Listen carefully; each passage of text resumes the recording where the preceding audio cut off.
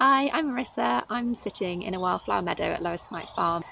Now, summer has seemed to quickly turned into autumn, but even under these grey and colder skies, there's still lots of wildlife interest out there. And for those of us interested in moths, this is a great time to see one of the more common species, the yellow underwing.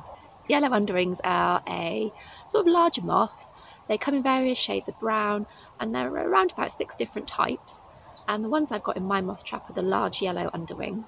The hind wings underneath are a quite spectacular shade of yellow.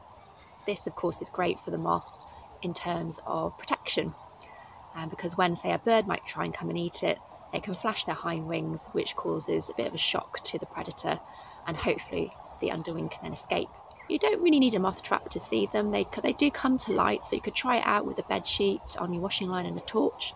They kind of just dive bomb in. Um, they're not very graceful flyers. And you can attract them really easily to your garden. Yellow underwings will lay about 200 to 300 eggs on the larval food plants. And they line them up really neatly, and they'll be about a year long life cycle. And the adults will be on the wing from June and they can fly right through to October and in some rare cases even longer.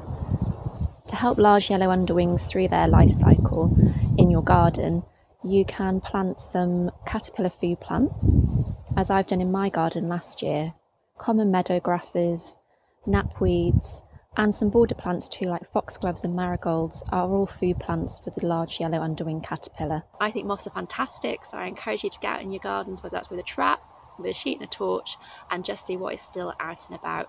There's still plenty to see through autumn.